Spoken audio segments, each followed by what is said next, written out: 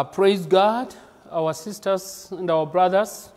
It is wonderful again to come uh, to your screens and especially bringing the Word of God. Uh, like uh, uh, we all know, maybe you do not know you are coming to hear this for the first time. Uh, as a family of Deliverance Church, Imara Daima, we are going through a time, a session of prayer, prayer and fasting, picking up from the 1st of July.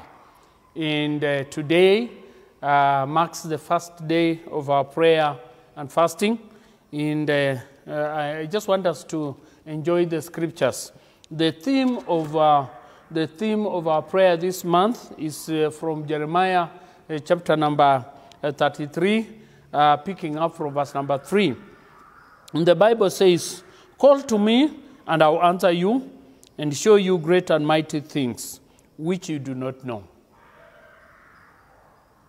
God speaks to Jeremiah, and he tells Jeremiah, Call to me, and I'll answer you.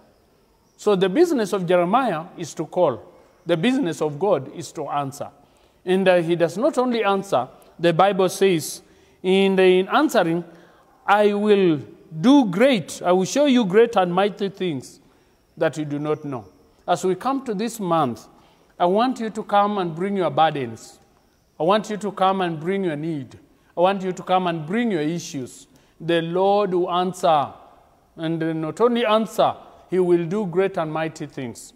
This evening, I want to help us understand that our prom- God's promises in our lives never fail. The promises of God in our lives never fail. And especially if we will remain faithful. And especially if we will remain committed. And especially if we will be able to live to love our God. As a son and a father, when the son comes to the father to ask for bread, the father does not give a stone. That's the teachings of Jesus Christ. Let's be able to look at a short uh, scripture in uh, uh, 1 Kings chapter number First Kings chapter number 18. I want to pick up from verse number 22. And the Bible says, let's just enjoy the reading of the scripture. Let's just enjoy the reading of the scriptures. Then Elijah said to the people, I, even I only, remain a prophet of the Lord, but Baal's prophets are 450. Verse number 23 Let them therefore give us two bulls, bullocks, and let them choose one bullock for themselves and cut it in pieces and lay it on wood. Put on fire under. Put no fire. Put no fire under. And I will and I will dress the other bullock and lay it on wood. Put no fire under it. Verse number 24. And call you on the name of your gods. The Baal prophets call you on the name of your gods, and I will call on the name of the Lord Elohim. And the God that answers by fire, let him be God. And all the people answered and said, It is well spoken. Our Father, we just bless your name tonight. As we listen to the scriptures, minister to us in a very new way, minister to us in a very special way. I thank you and I bless you. For this I pray in Jesus' name.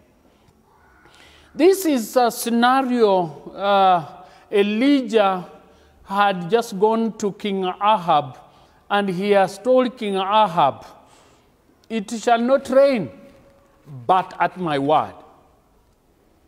Until I speak, it will not rain in this nation.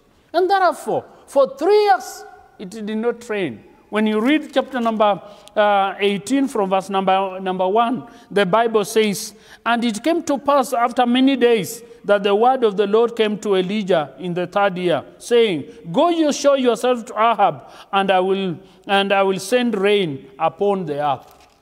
From when Elijah spoke to Ahab the king and said, It shall not rain but at my word. Now we are in chapter number 18, and the Bible says, over three years it has not rained. And God speaks to Elijah and says, Go show yourself to King Ahab.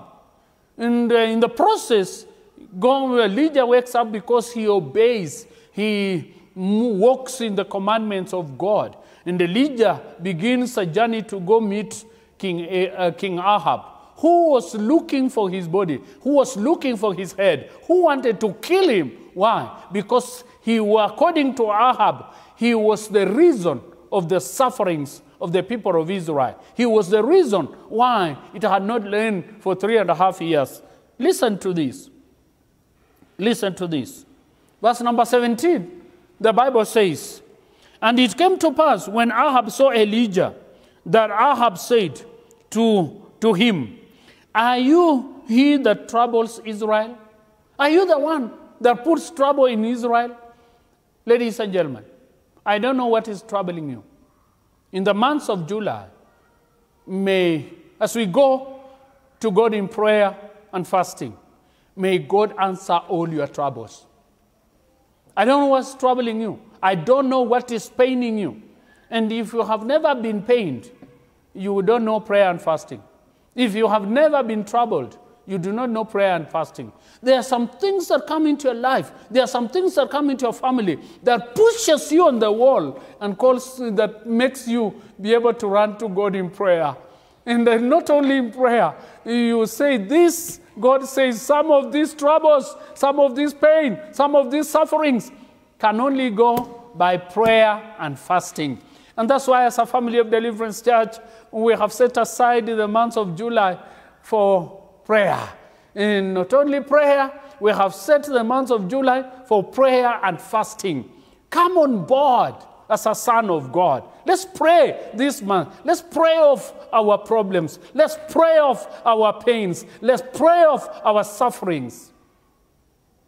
In this month, may God listen to your prayer and answer your prayer. As you join us as a family of Deliverance Church to come before God in prayer and intercession, I want to assure you, as a prophet of God, this is the month that you experience your healing. I assure you, as a prophet of God, this is the month that you will record your developments. I assure you, as a man of God, this is the month. Some of you who have been believing God for marriage, may you hook up in this month. Some of you who have been believing God for employment, may your employment be done, be created in the month of July in the year 2020.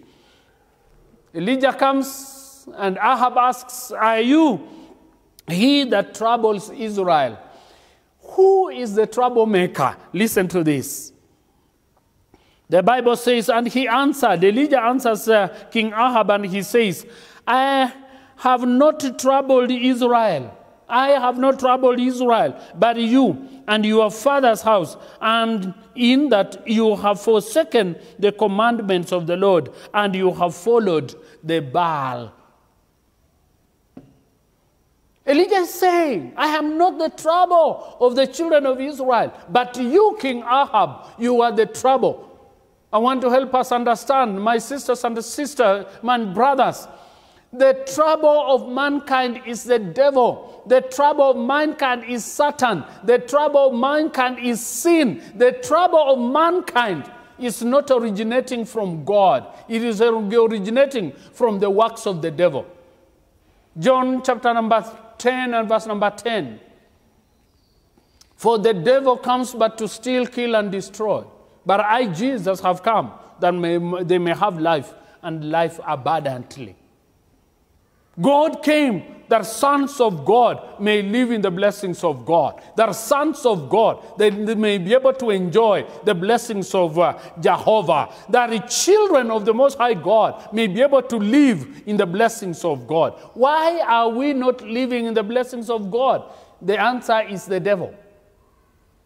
You know, some of us are thinking that uh, uh, this and that has happened and that's why you are suffering it all falls back to the devil. He doesn't want you to enjoy life. But I want to help you understand in the month of July, the year 2020, as we begin our prayer month, you will enjoy.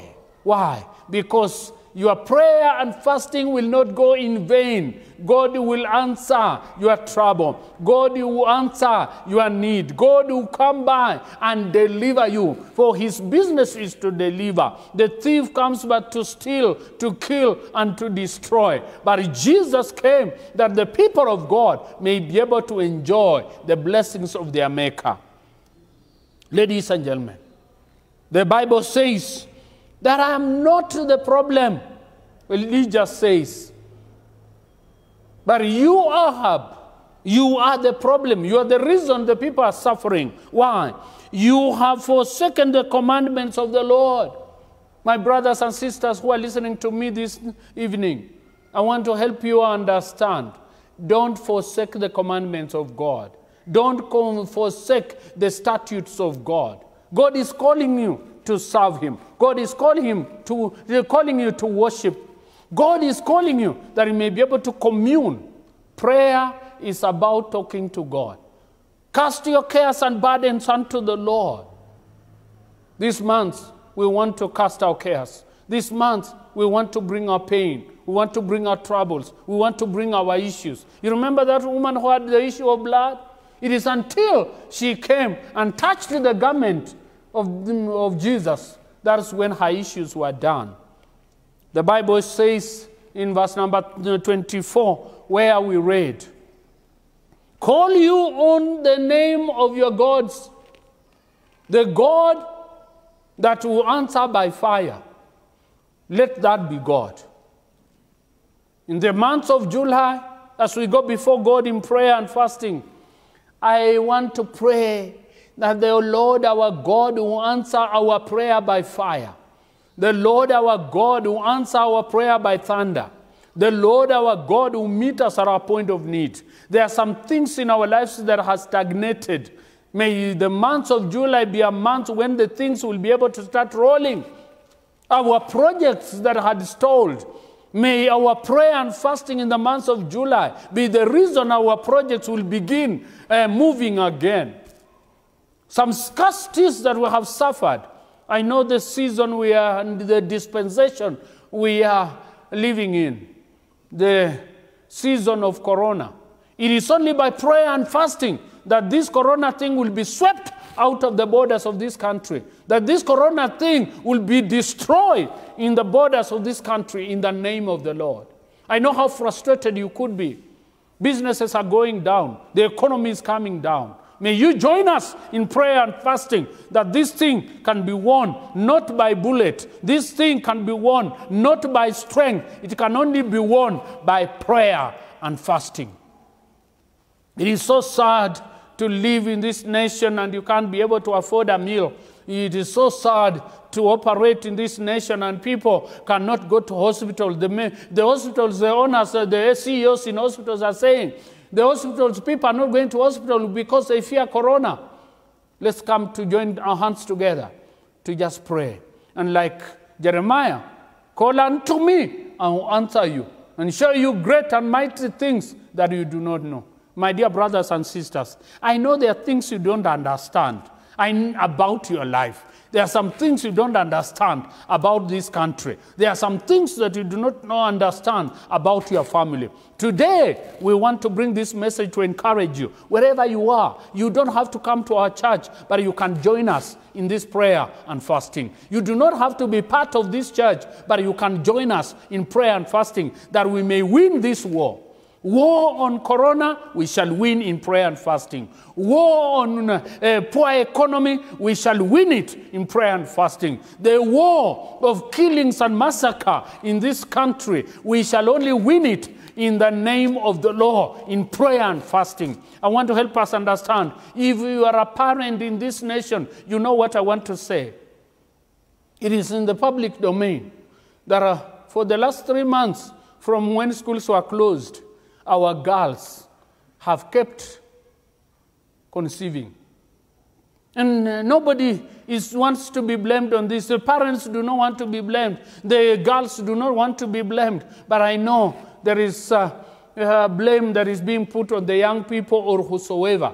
It is criminality, I know that. But yet, it falls to the trouble? Who is causing the trouble of pregnancies? It is the devil. I do not want us to fight the young people or the men. Men in this country are the endangered species. Everybody is saying, Where are these men that are impregnating? We want to arrest them, put them in prison. Let us pray about this. This is the hand of the devil. It is not about what the man has done. It is not about what the teenager. Some of these pregnancies are among us the teenagers. The girl is in Form 2 and the boy is in Form 3. Why do you take the boy only and jail him and then you are leaving the girl?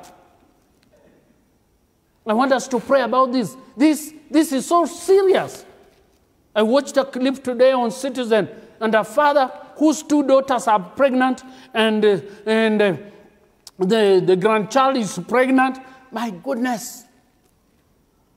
That is terrible. That is terrible. We are living in a bad society. And why bad society? The work and the hand of the devil. Let's not be able to give a devil a, foot, a footstool. Let, no, let us not be able to give the devil a hand, a small area in our lives.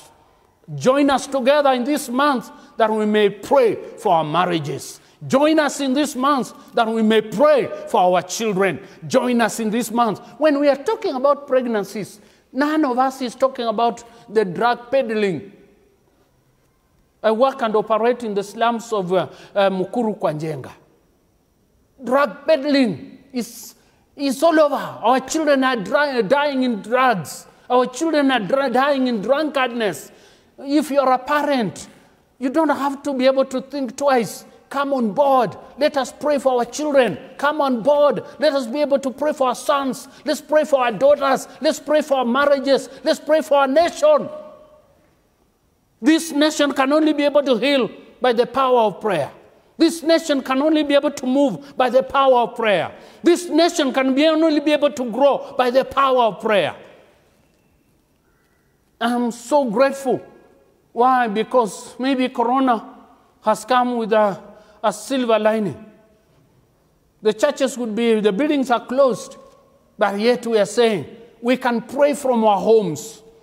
We can be able to pray from our bedrooms. We can be able to pray from our business areas. We can be able to pray from wherever we are. But I'm praying that this month, the month of July, we shall stand up together in prayer and we shall call on heaven. And like the Bible says, call unto me. God is saying, call and I'll answer. We don't have, not because we must not have. We don't have because we ask not. Let's come before God in prayer. Dedicate an hour for prayer. Dedicate two hours in this month for prayer. Dedicate yourself. My ladies and gentlemen, let me say this with a lot of humility. I know you are not suffering on how to get lunch, but there are people who do not have a lunch. If you can spare a lunch and buy somebody who does not have uh, food with that lunch, in prayer and fasting, God will bless you. God will bless you. I said, God will bless you. Spare some money. Spare your lunch as you go before God in prayer and fasting. And then put that money for lunch to buy somebody who does not have food. There's somebody around about you whose house has been closed just because they lost their job, they have no income, they have no nothing, they are suffering. Can you caution them? Can you minister to them? This is about the prayer and fasting in this month. I want us to pray. Our Father, in the name of Jesus, thank you for giving us a short moment to just share the word. Lord, we are lifting the, uh, this nation unto you. Lord, as we come before you in prayer and fasting, we want to pray for new strength. Strengthen us in prayer. As we dedicate ourselves to call to heaven, we are praying for this nation. We are praying for the counties in this nation. We are praying for families in this nation. We are praying for marriages in this nation. We are praying for the economy of this nation. Lord, may this month be our month of miracle. Meet us at our point of need, we pray. I pray this in the name of the Father and the Son and the Holy Spirit. And all of us said amen. Before we go, allow me to just ask you Maybe you have listened to this sermon and you have not given your life to Jesus. Even when we are calling, we are asking you to come and join us for a month of prayer. You do not know Jesus Christ as Lord and Savior. I want to invite you that may be able to receive Jesus Christ. For you to begin praying and fasting together with us, may you take this time to choose Jesus Christ and invite him into your life. Say, Lord, I invite you into my life. I am a sinner. Forgive me all my sins. Write my name in the Lamb's book of life. I pray this, believing in Jesus' name. And all of us said, Amen. Amen. You have given your life to Jesus. God bless you.